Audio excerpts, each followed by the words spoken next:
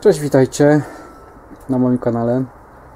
Słuchajcie, dzisiaj zajmiemy się takim tematem jak czujnik ciśnienia na listwie paliwowej w silniku diesla, tak jak tutaj widzicie, marki Kia, Hyundai, silnik dwulitrowy CRDI. To jest akurat 140 koni, ale jest to bez znaczenia. Ale słuchajcie, nim do tego dojdę, Chciałem zapraszać, y, słuchajcie, do subskrybowania kanału. Przekonacie się, że to nie boli. Natomiast bonusy macie takie, że ktoś, kto subskrybuje mój kanał publicznie, no jest traktowany w priorytecie, jeśli chodzi o kwestie jakichś tam porad, ewentualnych, ewentualnie jakichś tam drobnych napraw, które po prostu mogę mu pomóc. Dobra. No i wracając, słuchajcie, do tematu.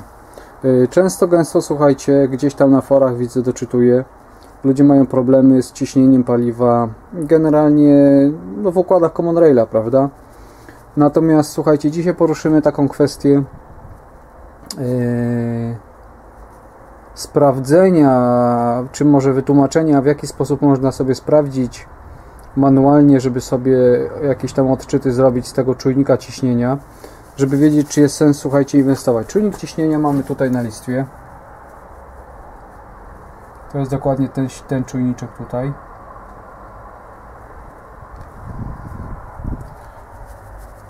No i listwa paliwowa, prawda? Yy, słuchajcie, czym jest listwa paliwowa? Myślę, że chyba wiecie, jeżeli nie wiecie, to Wam przekażę taką informację. Dla tych, którzy jeszcze gdzieś tam nie zasięgnęli takiej wiedzy. Listwa, słuchajcie, paliwowa jest niczym innym jak akumulatorem, czyli czymś takim, gdzie jest zgromadzone większe ciśnienie paliwa, żeby w największym momencie, gdy te wtryski potrzebują, mają zapotrzebowanie, żeby to paliwo mogło być dostarczone w takiej ilości, jakiej potrzeba, czyli po prostu cała ta listwa gromadzi sobie to, to, to skumulowane paliwo po to, żeby móc wcisnąć pod pełnym ciśnieniem, co, co, co, co, co powinno być, prawda? Natomiast tak, słuchajcie, poruszamy ten temat tego czujnika. E, może się zdarzyć sytuacja taka, że macie na przykład nieprawidłowe jakieś tam odczyty ciśnienia, bądź macie błąd, że na przykład y, jest nieprawidłowa wartość ciśnienia paliwa, czyli generalnie błąd, który związany jest z tym czujnikiem. Nie mówimy tu, słuchajcie, o kwestii takiej, gdzie macie mm, lejące wtryski. Nie będę poruszał tematów lejących wtrysków, bo już to kiedyś poruszaliśmy. A dzisiaj jest cholernie zimno, zresztą zapowiadali, że 20 rok będzie zimny. No i ta zima jest cholerna, no ale nie o to chodzi. Słuchajcie, w każdym bądź razie nie poruszamy tematów trysków, które gdzieś tam nam podlewają, tylko poruszamy kwestię uszkodzonego czujnika. Y, słuchajcie, co będziecie potrzebowali, żeby taki czujnik sprawdzić? No najnormalniej w życiu będziecie potrzebowali miernik analogowy, którym będziecie mogli sobie sprawdzić y, to napięcie. Czujnik, słuchajcie, nie jest niczym innym, jak po prostu czujnikiem, który ma wewnątrz membranę na którą jest nacisk, słuchajcie, ciśnienia paliwa i w zależności od, yy, od nacisku, czyli od ciśnienia tego paliwa, jakie panuje wewnątrz tutaj tej listwy, jest po prostu zmiana z wartością zmiany ciśnienia jest zmiana wartości wyjścia tutaj z tego czujnika. No i teraz tak, słuchajcie, czujnik, jeżeli się chcecie do niego dostać, nie wiem, czy mi się kurczę uda, myślę, że powinno się udać. No kurka.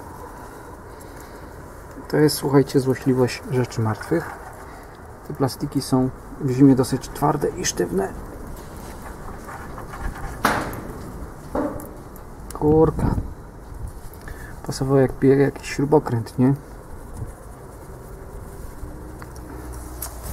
No nie ma.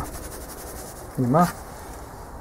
Zaraz coś znajdziemy, słuchajcie. Musimy się dostać do tego dlatego że chcę Wam pokazać. Zresztą, słuchajcie, może nie, nie będziemy rozpinali tego, bo to i tak nam nic nie da. Wewnątrz, słuchajcie, pod tą kostką mamy trzy piny.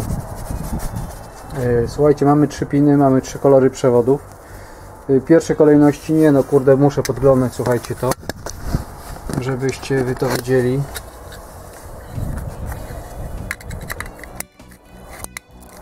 O, klipsik sobie ładnie zeskoczył. Dobra. Udało się. Więc tak, słuchajcie. O kurka, rozmazał mi się obraz. Przepraszam, przepraszam, przepraszam najmocniej. Macie trzy piny, prawda?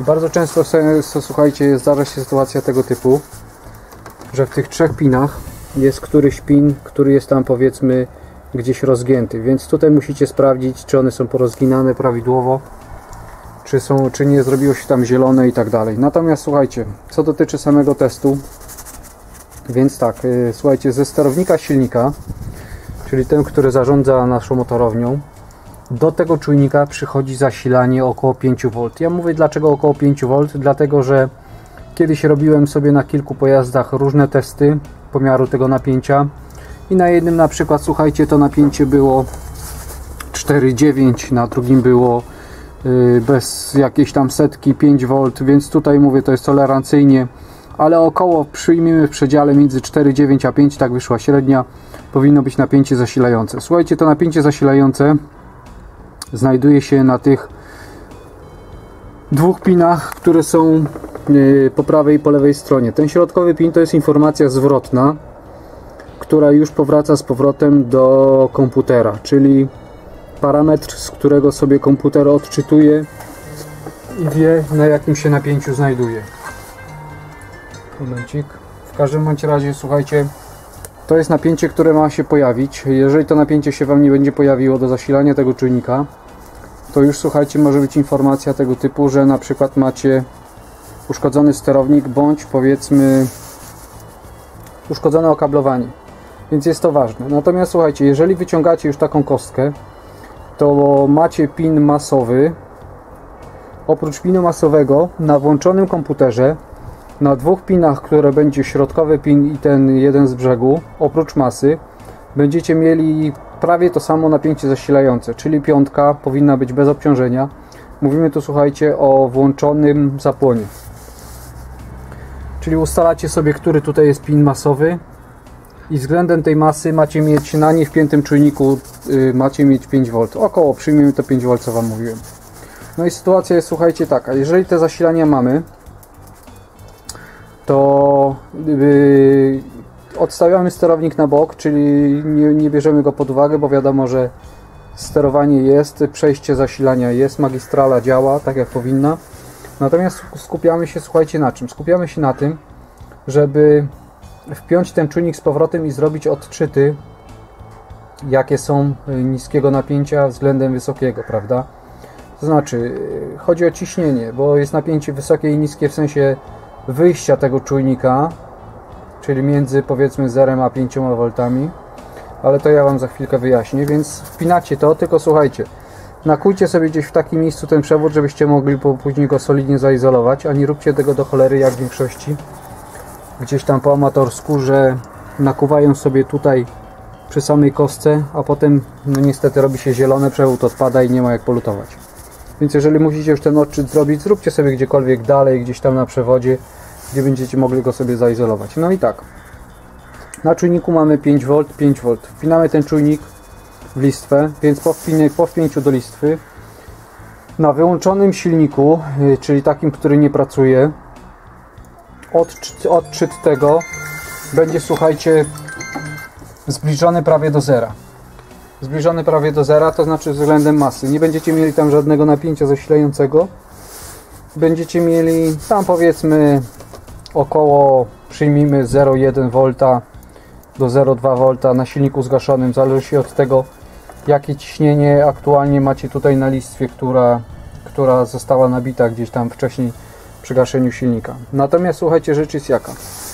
Jeżeli uruchomimy silnik, tylko też uważajcie czym to mierzycie, bo tu macie już styczność z, słuchajcie, z wysokim ciśnieniem, więc żebyście sobie nie narobili czegoś tam takim sprawdzonym miernikiem, nie jakąś tam próbówką czy żarówką, robicie rzecz taką. Jeżeli silnik uruchomicie i silnik pracuje na biegu jałowym, to to napięcie, słuchajcie, nie mówimy o zasilaniu. Zasilanie ma zostać 5V dalej stałe tego czujnika, ono się nie zmienia.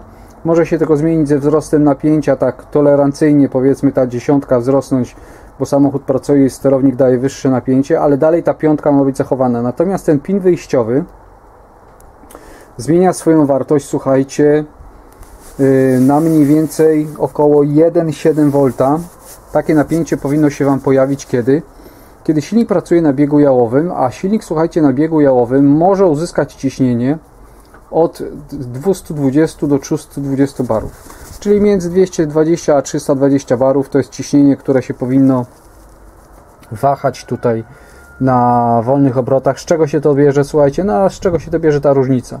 No na przykład z tego, że jeden silnik jest ciepły, drugi jest zimny, więc te obroty troszeczkę tym kątem mogą być inne, to ciśnienie może panować inne, ale generalnie w tym zakresie ono ma się wahać. No i słuchajcie, rzecz jest jaka. Yy, na tej listwie może się pojawić ciśnienie maksymalne 1650 barów. To jest ciśnienie maksymalne, słuchajcie, które y, jest krytycznym napięciem do odcięcia ciśnienia. Czyli jeżeli robimy sobie pomiar, to teraz ja już Wam powiem, jak mniej więcej będzie to wyglądało.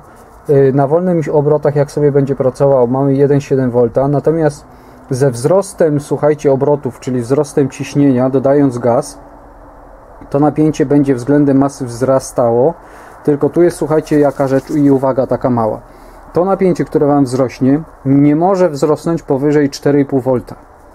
Jeżeli Wy zrobicie przegazówkę i to napięcie wzrośnie powyżej 4,5 V z, odczytu tego czujnika, to będzie świadczyło tylko i wyłącznie o uszkodzeniu tego czujnika.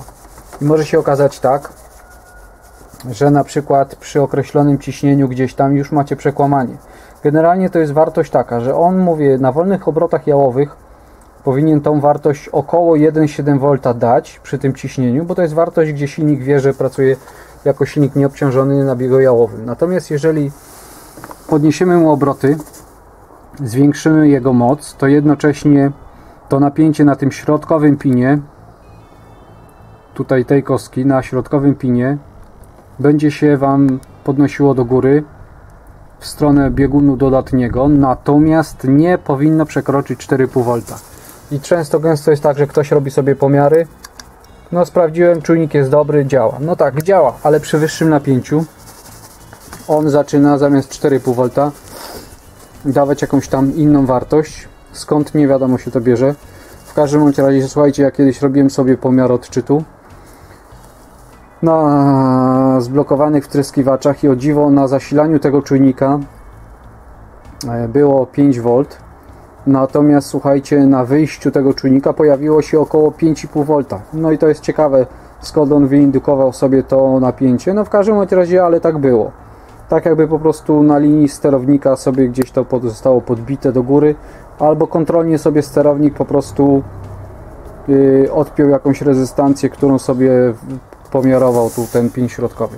No także słuchajcie, myślę, że sprostowałem Wam sytuację, jeżeli będziecie potrzebowali pomiarów, to myślę, że już będziecie wiedzieli, jak ten czujnik sprawdzić, żeby niepotrzebnie nie ładować się w koszty, nie kupować, bo no to nie tędy droga, słuchajcie, bo te czujniki nie są tanie, a po co kupować, skoro ma miernik w rękę, już będziecie wiedzieli, że czujnik jest dobry, a nie lecieć od razu do sklepu i kupować. Także jeszcze raz, słuchajcie, jak film mi się komuś przydał, liczę na tą łapeczkę w górę, choć niechętnie ludzie klikają, ale, ale naprawdę. Podziękowanie łapeczkę w górę, a jak ktoś potrzebuje jakichś porad większych, to słuchajcie, zapraszam do subskrybowania kanału, będziecie coś wiedzieli bieżącego, a z drugiej strony, kurczę, no ja priorytetowo takie osoby staram się traktować, jak widzę, że tam ktoś mój kanał subskrybuje, ewentualnie go wspiera. No także jeszcze raz, podziękował, słuchajcie, dziękuję za zaufanie, za stracony czas y, za moje gadanie, że chcieliście wysłuchać. No i cóż, pozdrowionka i cześć do następnego filmu. Hej.